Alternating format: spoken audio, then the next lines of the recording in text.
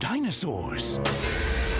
You thought they were extinct, but they're back and they want to see you. 20 life-sized moving dinos up close. Be brave and see them now at Dinosaur Discovery at Museum of Tropical Queensland, Townsville.